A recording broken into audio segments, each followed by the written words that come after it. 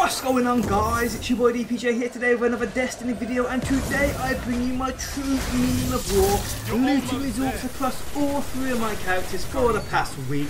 Now before we get into the loot I received, I'm still getting daily messages from people asking me how you unlock these weekly Crucible bounties with Lord Shaxx. Now I've already covered this in many videos before, but if you have missed it, it's basically a quest you have to complete, one that's crazy long. It's called the Crucible Forged.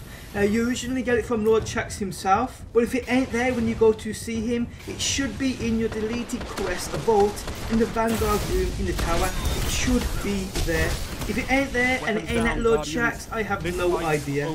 Now once the quest is completed, it opens up on all three of your characters, so you haven't got to run it three times. So basically you run it once on one character and it opens up on all three characters and it's as simple as that. I will link a video which explains all in the description box below if you need more info. But let's get straight into the loot I received this week. Starting on my hunter and I received the Dragon's Breath exotic rocket launcher. This dropped though unfortunately at a 334 so it's pretty useless to me in my aim to collect all exotics at a 335.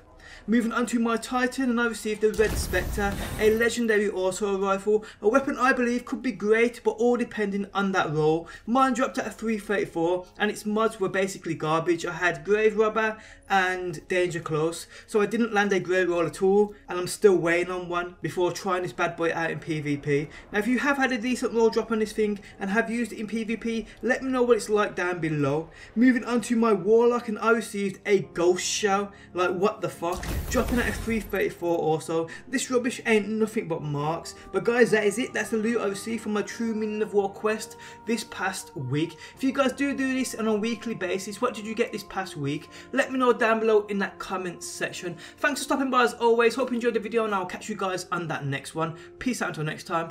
Peace! Always in the